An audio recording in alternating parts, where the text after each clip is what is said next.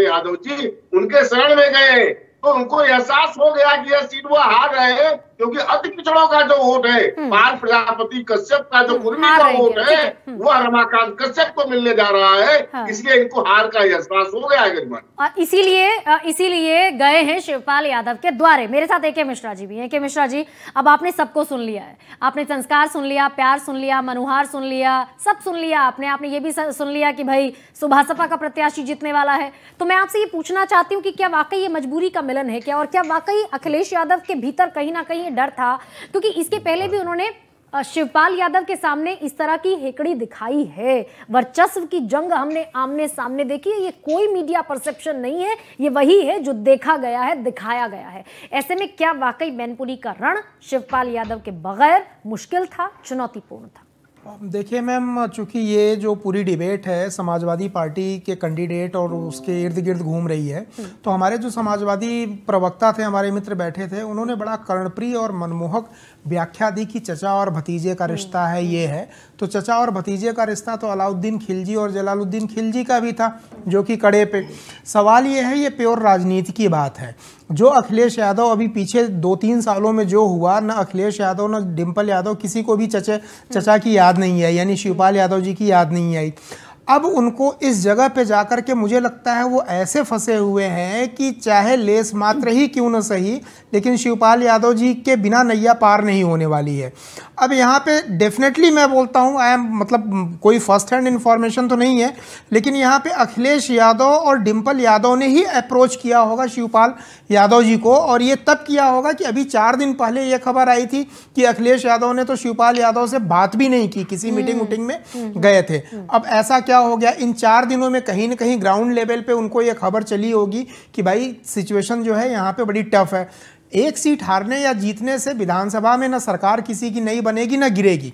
लेकिन ये प्रतिष्ठा की बात है यहाँ पे। और ये बड़ा लॉन्ग लास्टिंग इम्पैक्ट देगा अगर डिम्पल यादव यहाँ पे हार जाती हैं। तो मरता क्या न क्या न करता? करता। और एक चीज़ और है हाँ। कि शिवपाल यादव भी अगर वापस गए हैं तो मुझे लगता है ऐसा कोई मोह नहीं है। उनका भी अपना गणित नहीं उनका भी ये लगा होगा देखिए अभी तक जब से वो अलग हुए या किए गए अपने आप को वो एज ए पॉलिटिशियन वो स्टेब्लिश नहीं कर पाए।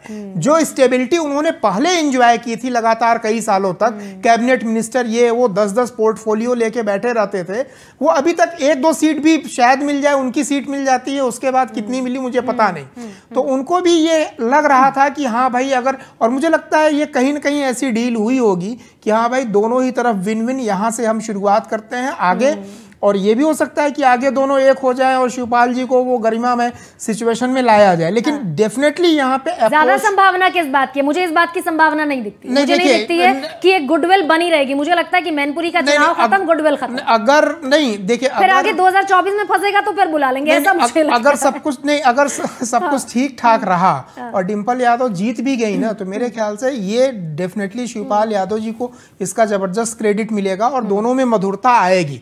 एटलीस्ट वो कटुता खत्म हो के हो सकता है सीटों का बंटवारा कर लें एक स्ट्रॉन्ग टाई अप हो जाए या फिर से वो विलय हो जाए अच्छा। ये संभावनाएँ मुझे दिखती है क्योंकि मुझे ये लगता है कि शिवपाल यादव अभी भगवान करे उनकी उम्र बहुत है बहुत हो लेकिन वो जब तक रहेंगे वो सपा के पैर में ऐसे चुभे हुए कांटे की तरह रहेंगे अखिलेश यादव के कि वो एक एक कदम पे जो है वो दुख देने वाले रहेंगे। दुख देने वाले रहेंगे और कांटे को निकाल कर फेंका नहीं जा सकता क्या? हाँ। ये ये जो आप बात कह रहे हैं ए के मिश्रा जी मुझे जरा समझा दीजिए ब्रेक पर जाऊँगे मुस्कुराते हुए डॉक्टर कांटे को देखिए अब जिसने कांटा चुभोया है वही कांटा जो है निकालने के लिए वहाँ जा रहा है कि आइए चाचा हम आपके पैर का कांटा निकालते हैं। तो ये मैं बोल रहा हूँ कि लॉन्ग टर्म में दोनों विन विन की कुछ प्लानिंग कर रहे हैं। इसमें एक और इम्पोर्टेंट चीज़ है जो हमारे बीजेपी के मित्र बोल रहे थे। हालाँकि मैं उस पर कोई कमेंट नहीं करूँगा। देखिए बीजेपी ने क्या किया? क्यों ये ऐसे कैंडिडेट को ले आए जो पहले उन्हीं के साथ थे? हाँ देखिए लोहे को लोहा काटता है कांटे से कांटा निकालने वाली बात यहाँ पे बीजेपी ने की है। डेफिनेटली ये मान लेना चाहिए बीजेपी को कि उनका इंडिविजुअल कोई कैंडिडेट वहाँ पे ऐसा नहीं है जो यादव फैमिली को चुनौती दे सके। चुनौती दे सके। नहीं मान ले तो फिर सियासत किस चीज़ की? नहीं, नहीं। सियासत फिर दुरूह कैसे रह जाए? नहीं नहीं। सियासत ठीक है आप मत मानिए चुनाव जीतना देखिए हालाँकि अब बीजेपी प्रवक्ता ने बोला सिद्धांतों को परे रखना एक अलग चीज़ होती है। अब बोल दीजिए चुनाव जीतना है भाई कोई भी मिल जाए मुझे लगता है इतनी सच्ची जित- जिस दिन इतनी सच्ची राजनीति शुरू हो जाएगी मुझे लगता है जनता भरोसा ये सबके ऊपर एप्लीकेबल है। हाँ, अगर शिवपाल शिवपाल यादव और हाँ। अखिलेश यादव मिल सकते हैं तो they are also going good ऐसा देखिए जब मायावती और अखिलेश मिल सकते हैं तो क्या नहीं हो सकता? जब उधर नीतीश और लालू मिल सकते हैं तो क्या नहीं हो उसमें तो मायावती जी ने खेल कर दिया था। ठीक है वो खेल भी हम सुनने की कोशिश करेंगे एक छोटे से ब्रेक पर जा रहे हैं। लेकिन डॉक्टर अज़ीज़ खान छोटा सा रिमार्क चाहती हूँ सर आपसे। क्या वाकई शिवपाल यादव अखिलेश के पाँव में फंसे हुए एक कांटे हैं जिन्हें न निकाला जा सक रहा है और साल रहे हैं कदम दर कदम उस दर्द का एहसास भी हो रहा है। क्या चल क्या रहा है सर ये? छोटा सा रिमार्क देखिए गरिमा जी अभी ए के मिश्रा जी का एनालिसिस में सुन रहा था। जी। मैं इनको कहना सिर्फ़ ये चाहूँगा इसमें कमेंट सिर्फ़ इतना ही है कि जैसा जिसको दिखे ये दुनिया वैसा और क्या ये